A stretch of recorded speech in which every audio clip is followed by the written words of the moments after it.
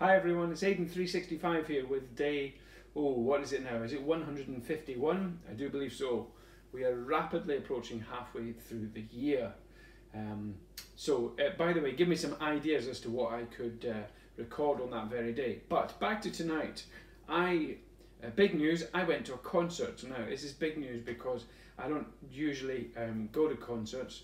I usually am just too frustrated about not being on stage. So um, I gave up going to concerts many, many years ago. However, I went with my good friend Jack tonight to see the String Sisters and I was blown away. So this was an all-female lineup of some of the world's best uh, female fiddlers.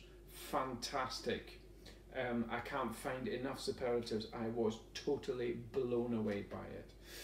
Um, it was in Cecil Sharp House in London, which in itself was a, a great venue. So um, I was expecting great things, and boy, did they deliver. So I really urge you to check out String Sisters.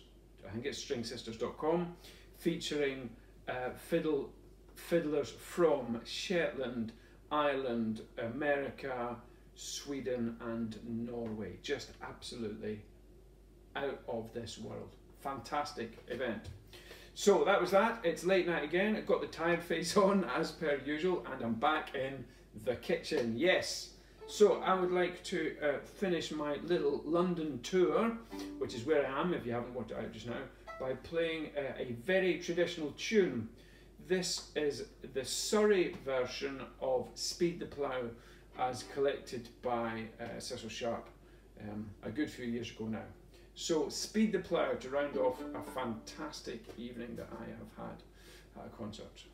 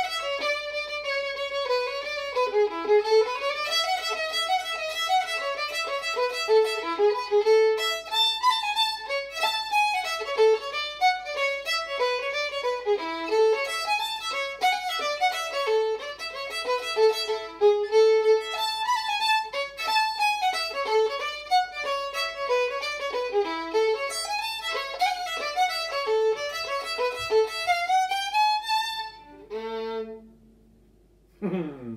there we have Speed the Plough, the Surrey version. Um, there are a great many versions of that tune around. This is the version that I have been playing this week for the dance workshops and the movement workshops that I have been playing for here in London. Last day in London for me tomorrow, and then it's back over to Sweden.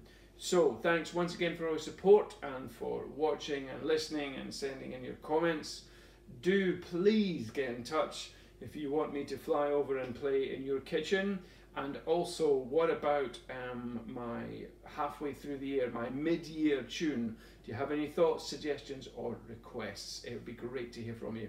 Take care now, everyone, and I'll see you tomorrow. Thanks a lot. Bye-bye.